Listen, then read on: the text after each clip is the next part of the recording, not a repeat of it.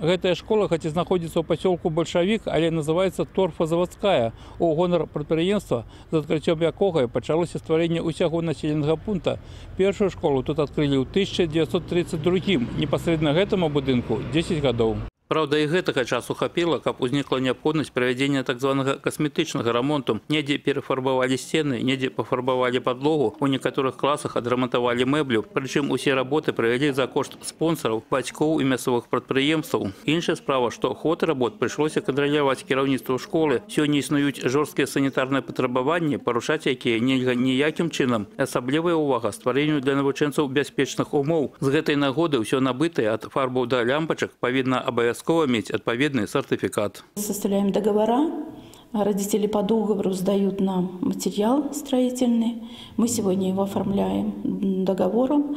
Вот эти договора мы сегодня сдаем в отдел образования вместе с копиями чека и э, актом списания этих материалов, которые сегодня были использованы для ремонта школы.